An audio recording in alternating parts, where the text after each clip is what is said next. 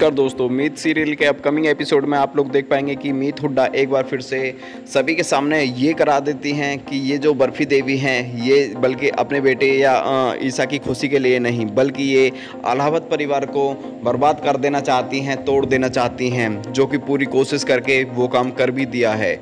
जो कि मीत हुड्डा बोलती हुई नज़र आने वाली है मीत अलावत से कि, मीत, आप समझने की कोशिश कर कि आखिरकार बर्फ़ी देवी तुम्हारे परिवार को एक एक करके तोड़ रही है। ये ईसा को कभी खुश नहीं रखेगी और ना ही इसका बेटा यानी कि दीप जो कि इससे कोई प्यार करता है, क्योंकि इनकी मिली भगत है। दोस्तों, आप लोगों को बता देना चाहता हूँ कि जल्दी ही कहानी में एक बहुत बड़ा ट्विस्ट और देखने को मिलेगा, जहाँ पर मीत अलावत सबसे बोलती हुई, बोलते हुए नज़र आने वाले हैं कि मैं इस शादी के खिलाफ हूँ और इस बात को मंजरी से ही बोलती हैं।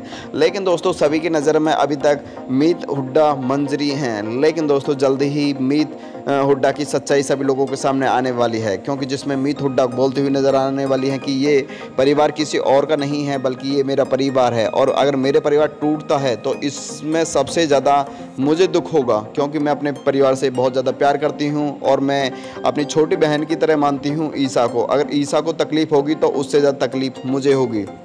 लेकिन चाची चाचा जी इस चीज़ को समझने के लिए बिल्कुल भी तैयार नहीं है। चाची चाचा जी को लग रहा है कि ये सब कुछ जो हो रहा है ये सब कुछ होने दे मंजूरी। दोस्तों आप लोगों को बता देना चाहता हूँ कि जहाँ बर्फ़ी देवी लगातार एलिगेशन लगाती हुई नज़र आ रही हैं और एलिगेशन इस तरीक़ा से लगा रही हैं मित हुड्डा के साथ में कि तुम आ, ये लड़की की बात को क्यों सुन रहे हो? क्योंकि मेरी बेटी की खुशी तुम्हारे लिए सबसे बड़ी होनी चाहिए और आप इस लड़की की बात पर विश्वास कर रहे हो। जिसके बाद में दोस्तों धक्का देने के बाद में निकालने की कोशिश हुई थी, लेकिन दोस्तों, मीत हुड्डा कहीं जाने वाली नहीं है और वो लगातार मीत अलावत से बोलती हुई नज़र आ रही है कि, मिस्टर तोड़ूराम, मेरा साथ दीजिए, क्योंकि ये बर्फ़ी देवी जो है, ये दहेज की लोभन है और कभी भी खुश नहीं रखेगी ईसा को। साथ ही दोस्तों, चैनल को सब्सक्राइब करने के बाद में वीडियो को लाइक करें एंड कमेंट करके ज़रूर बताइए। थैंक